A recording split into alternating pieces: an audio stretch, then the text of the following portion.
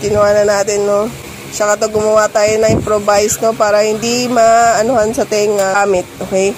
Ito yung tenga niya.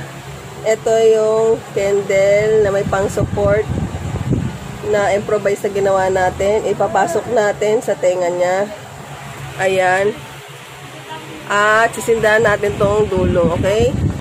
Ayan guys, ano na tayo ng lighter. Sisindihan na natin siya, no? Okay.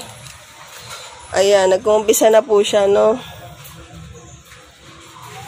Nakatutok ba mismo sa butas ng tenga mo?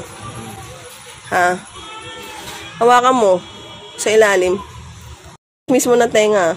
Ayan. Tapos mamaya i-check natin kung talagang nakuha niya yung mga earwax sa tenga ng taong gagamit nito, okay?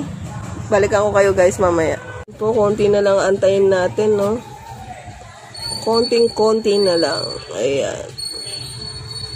Pagka nandun na sa pinakamababa, papatayin na natin siya, no? Ayan guys, papatayin na natin yung apoy. So, titignan natin yung laman, no? Ang nakuha. Okay? Ayan po, no? Madikit, ami.